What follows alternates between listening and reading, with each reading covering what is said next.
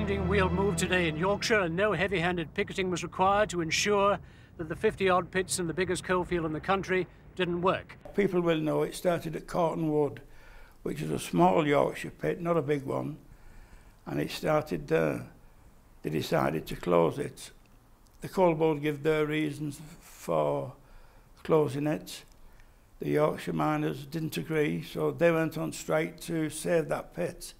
And then it spread within Yorkshire, and then it spread within other coalfields, Lancashire, Nottingham, Leicester, Durham, fairly quickly.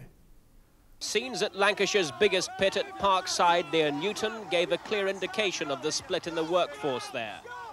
On the buses, the men abiding by the area delegates' decision to return to work.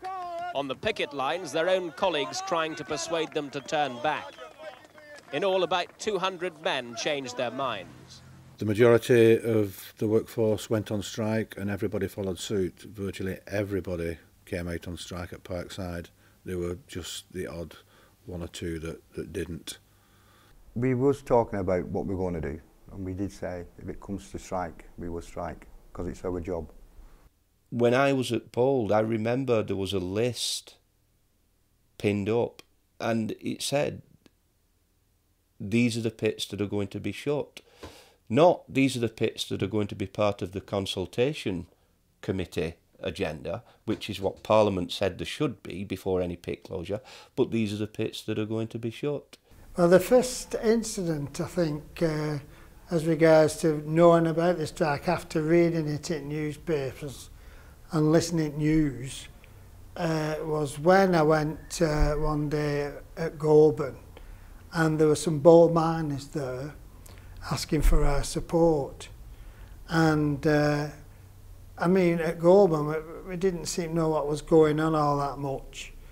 And uh, so I said, well, I said, well, let me go to Union and see what uh, they say.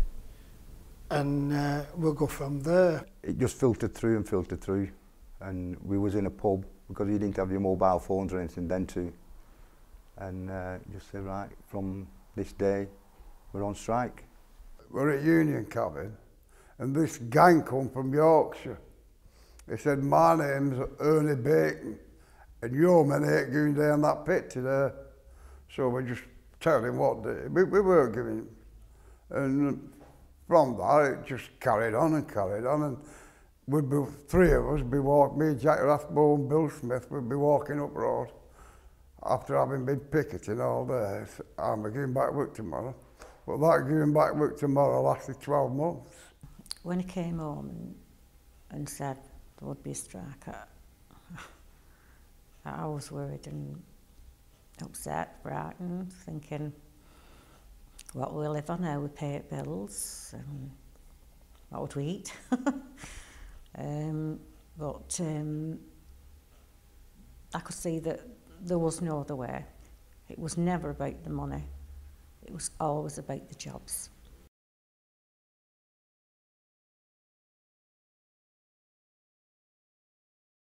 You know, Arthur Scargill, the leader of the NUM, Margaret Thatcher being Prime Minister, there was, there was a well-known clash before it clashed.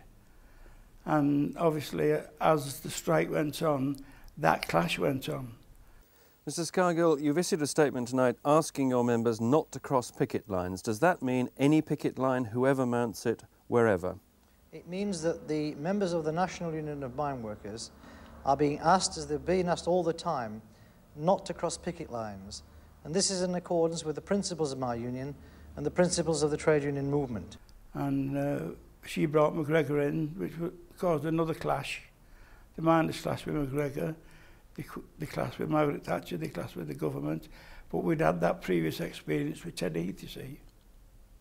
I don't think the Tory party uh, ever forgave the miners for the, the victory in 72 and 74. More or less common knowledge, I would say that. And I don't think they really covered it up. So really, knew, we knew they was out to get us. And uh, of course, the Tories was headed by M Margaret Thatcher, probably one of the evilest prime ministers ever in British history. And she saw it as a chance. I think, I'm not too sure from memory now whether she was riding out Falklands War, she was. Uh, I think probably she spied a chance because uh, her popularity rose over Falklands War to uh, bring in McGregor uh, Ian MacGregor I think his name was, who was an arrogant pig and uh, he, he was renowned for bullying unions. But you could see many more pit closures in the near future if the strike continued? I would say that uh, as far as we're concerned, we're carrying on the program which has already been outlined.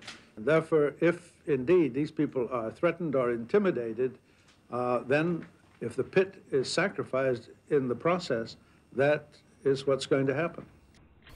And uh, I think people Duke writing was out well in that the, the, in respect of a fight.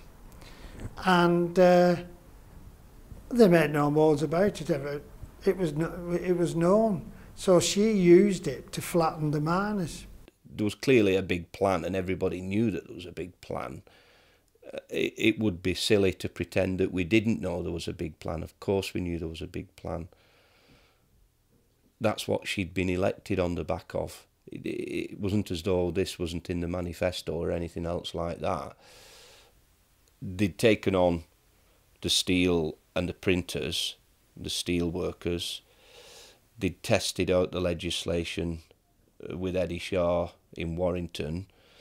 Um, and they were still testing it out. And I remember one time I was working on the surface. I'd been injured. I can't remember what I'd done, but nothing serious. But I'd been injured, so I was working on the surface. You work on the surface, you get surface pay instead of sick pay. And um, German steel, or certainly foreign steel, was brought into Bold Colliery as opposed to British steel or authorised steel. And this was fairly new to me, um, but we didn't unload it, we left it.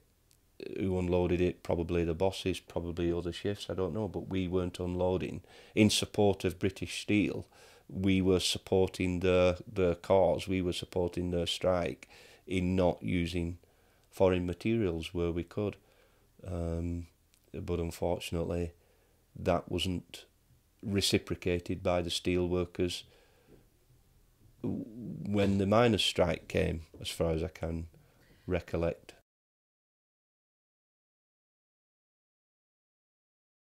On the early days, uh, you just had the uh, your normal pit lads there, and you had you had like in Golborne, it was a village. You just had the village bobbies there, you know, and the odd one. And then when you tried your best to stop these people going in, people that you work with, you know, and people that you went to football with or rugby or whatever, seeing them cross the line, it really give you a kick in the guts.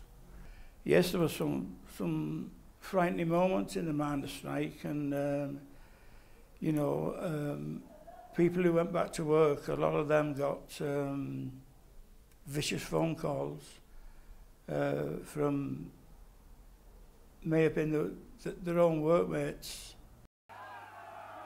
Striking miners had directed the suspension threat at the only Lancashire pit which has kept working normally.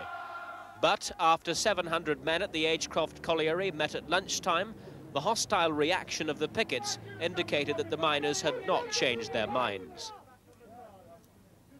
The meeting over, the miners drove off, saying nothing of the decision.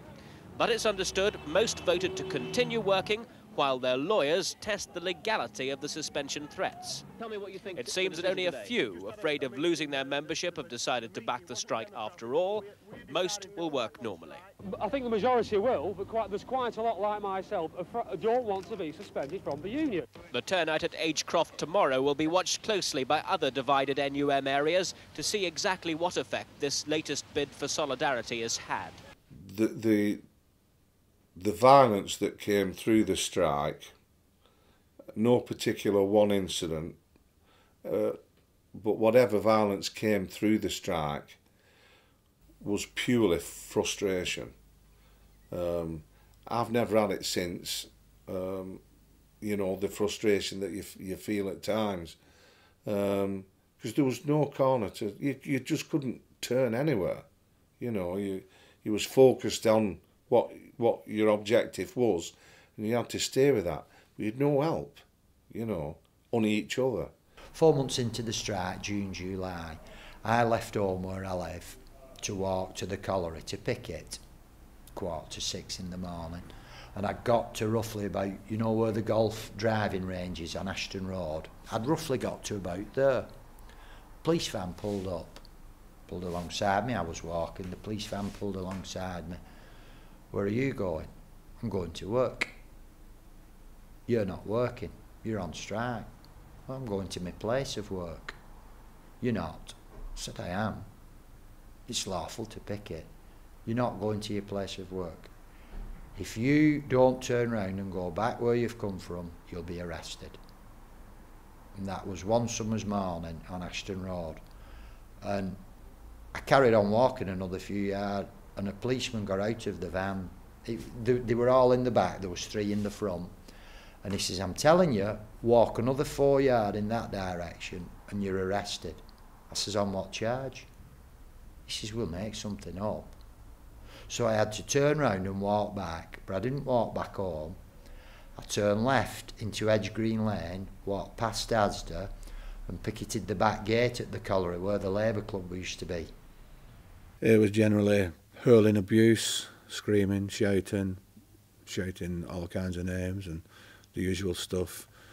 Uh, sometimes stones were thrown, windows were smashed. Uh, one occasion, uh, I believe an axe was actually smashed into the side of the coach. I don't know if it's true or not, but it uh, that's what I got told. I, I didn't actually witness that, but uh, as we could see on the news, um, all over the country, you know, people were going crazy.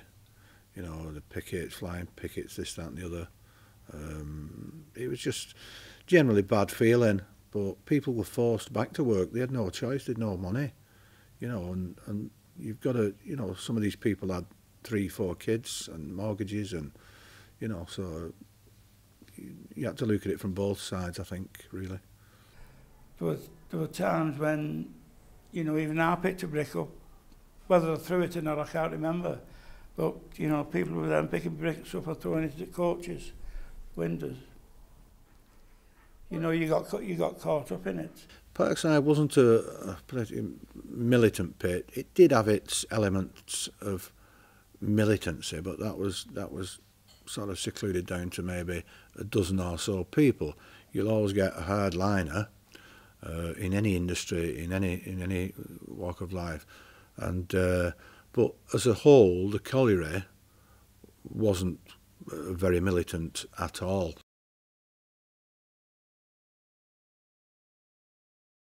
I, th I, th I think during the miners' strike, um, women were at home, quite a lot of women, and there was no money coming in, and they just felt that they had to get something sorted to make sure that you know, people knew what was going on. I mean, when you think about them going out with, with the buckets and, and, and, and the collecting, I mean, that was tantamount to, to begging, really. I mean, and it took an awful lot of guts to go out and do it because they'd no money, they were just absolutely desperate. And I think that's as a reason, as a result of that, the women decided, well, right, we'll do our bit towards it. We'll, we'll start manning the soup kitchens. We'll see if we can get food from, you know, the supermarkets up, anybody who's prepared to, provide it. And they got together as an army and, and tried to make sure that people had food on the table and that the children didn't suffer too much.